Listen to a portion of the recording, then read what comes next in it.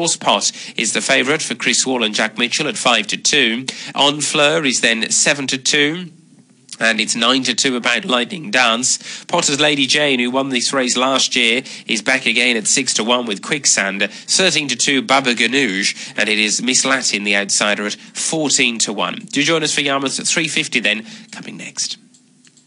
Yarmouth's fourth and feature race of the day was the £20,000 Marlin 6 handicap, and it's been won by the well-backed Summer Moon, 5 to 1 into 9 to 4 beforehand for Mark Johnston and Ryan Moore. He's made every single yard of the running to take these contests and give um, Mark Johnston a double on the day. He beat Protected Guest, who travelled strongly for Tom Queally, but when produced to make his effort inside the furlong, he couldn't get by Summer Moon, and Eynhallow was always prominent, the favourite. He finished in third place.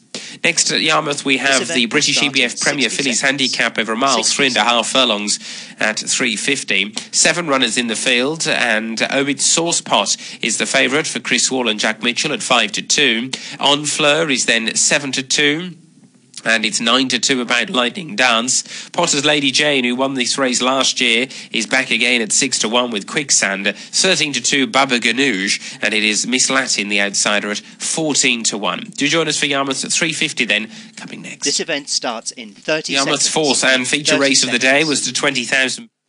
Off to Yarmouth we go for a fillies handicap now over miles three and a half furlongs. All seven of them line up for this race, including Oh It's Saucepot, who's the two to one favourite.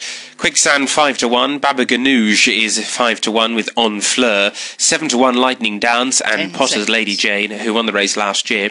And Miss Latin is then twenty to one, the outsider. Favourite Oh It's Saucepot got off the mark for the season when winning at Newmarket over a mile and a half last month. And uh, when she's won before, she's won two or three races at a similar time. So uh, there's no reason why uh, she can't uh, go in again here, you'd have thought, for an inform yard. She's favourite at 15 to 8, and we're just about ready.